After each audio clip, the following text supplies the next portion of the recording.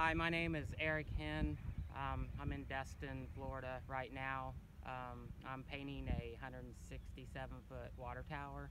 The water tower is gonna it's gonna be marine life on the top part. Um, I'm finishing up on dolphins today. Um, there's a sea turtle up there right now. I'll be adding more uh, native fish.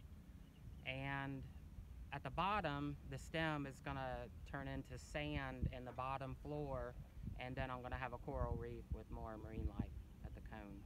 I've been uh, painting water towers for over 30 years. I started when I was 19 years old um, doing murals and eventually got to doing oil storage tanks and water towers and that's pretty much what I specialize in. And I travel all over the country doing this. Safety's always first. My philosophy, you only fall once um, from these heights. I'm usually working 150 foot, sometimes 200 foot in the air. Um, the biggest challenges are level ground, uh, reaching spots.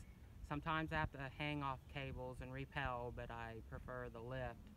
Um, you, you got to be aware of the, your environment. Because I always check my phone. I check the weather every morning, very first thing I do. Um, but I have um, seen tornadoes from up in the air uh, as I'm getting down.